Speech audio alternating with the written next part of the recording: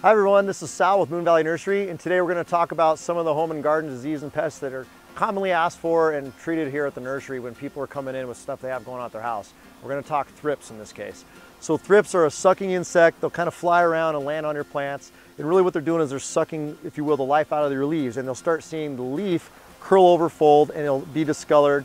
It's pretty obvious when we see thrips on the plants. We see it pretty often coming in from homeowners. What we're looking for is ways to prevent it, ways to treat it, and ways to keep from happening in the future. So let's, let's start with the identification. The telltale sign is the leaf's completely folded over, almost like a taco, and it looks completely deformed, distorted, wavy almost, and you see like little spots and dents in it. It's where it's been sucking and living off the plant. So we're looking for that first to identify it. Once we've identified that's what it is and what plant maybe that it's on, and we're gonna go into like what maybe is causing it. So sometimes we can tell if enough of the samples there, enough of the photo there's the tree, why the, the plant was kind of attacked in the first place. But what we can really do, kind of help you out with preventative maintenance in the future is really stick to a strong watering program into a fertilizing program. And if you haven't been doing that, it's usually the first thing we want to make sure that happens in the future. But if you're doing that on a regular basis, it helps to prevent it. Healthy plants, healthy trees usually are less susceptible to disease and pests. Once we've gone through that, we want to kind of go ahead and treat the problem. So we're going to go through and use a couple different pesticides on those. We like to use for most of our application a spinosad. It's a really good product for our house.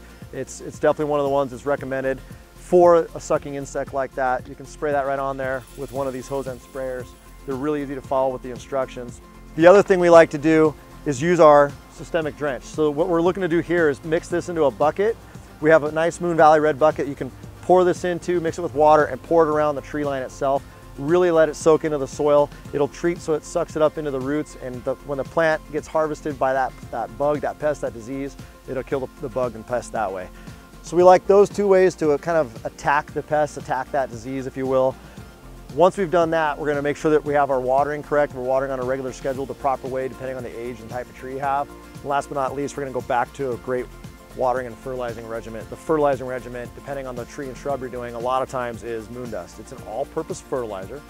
You can use it trees, shrubs, vines, cactus, agaves in a lot of cases. Um, depending on what it is, we'll help you out with that.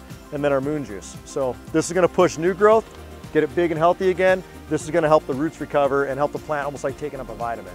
So again, we're gonna go through, make sure we're watering it right, fertilizing it right. We're gonna treat that pest and disease and make sure that we're looking for out for it in the future. We'll give you a little bit of advice too on the plant that it was on, maybe what times of year to look for that. Come into the local Moon Valley, call in, check us out online. We got some flyers, we got some handouts. Be glad to help you guys out. We're gonna take care of the problem, make sure you guys are happy. Thanks.